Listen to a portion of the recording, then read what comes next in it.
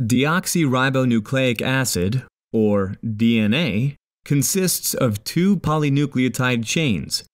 Each one is made up of four types of nucleotide subunits, which consist of a single phosphate group and a nitrogen containing base adenine A, cytosine C, guanine G, or thymine T, attached to a sugar deoxyribose.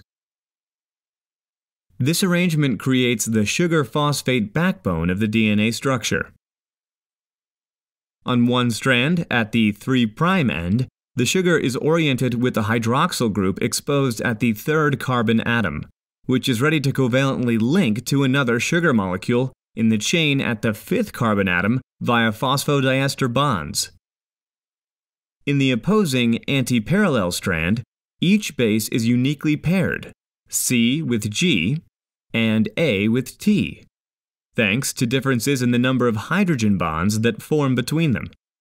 This complementary side terminates with a phosphate group at the 5' end.